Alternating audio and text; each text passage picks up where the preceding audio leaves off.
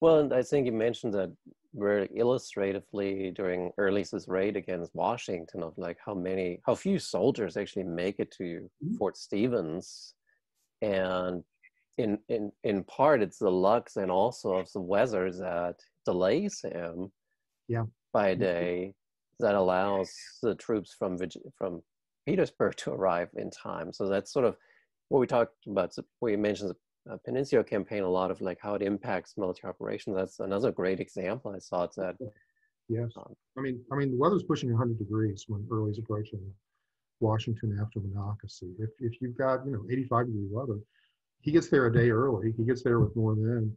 And mhm. maybe he gets into the city for a few hours. I don't think he's going to hold Washington for very long. But, I mean, stop and imagine how that would embarrass the Lincoln administration in an election year if the Capitol was occupied even for a few hours. Um, but it doesn't happen because it's just beastly hot and it's dusty.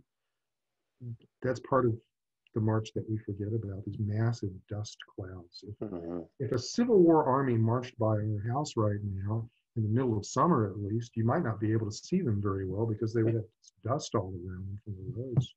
I mean, so there's an example where, where weather conditions change the war in some ways.